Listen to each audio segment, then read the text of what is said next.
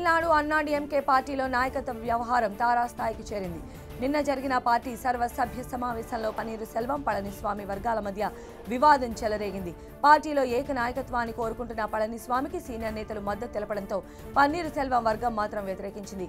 వేదికపైకి వచ్చిన పన్నీరు సెల్వం పైన పళనిస్వామి మద్దతుదారులు నీళ్ళ బాటిల్స్తో దాడికి యత్నించారు. అయితే పళనిస్వామి ప్రతిపాదించిన ఏక నాయకత్వం పైన జనరల్ కౌన్సిల్ ఎలాంటి నిర్ణయం తీసుకోకూడదని కేవలం ముందస్తుగా నిర్ణయించిన తీర్మానాలనే ఆమోదించాలంటూ మద్రాసు హైకోర్టు ఆదేశించిన కొన్ని గంటలకే పార్టీ సమావేశం మళ్ళీ రసాభాసగా మారింది. గతంలో ప్రతిపాదించిన తీర్మానాలను ఆమోదించేందుకు అన్నాడీఎంకే పార్టీ సర్వసభ్య సమావేశం జరిగింది. పార్టీ అగ్రనేతలు పళనిస్వామి పన్నీరు సెల్వంలు తమ మద్దతుదారులతో అక్కడికి చేరుకున్నారు. ఇరు వర్గాల నినాదాలు అరుపుల మధ్య తీర్మానాలను చదవటం మొదలుపెట్టారు.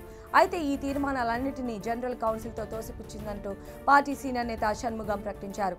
మరో సీనియర్ నేత కేపీ మునుస్వామి తీర్మానాలు అన్నింటినీ సభ్యులు తిరస్కరించారని ఏక నాయకత్వమే వారి ప్రధాన డిమాండ్ అని ప్రకటించారు.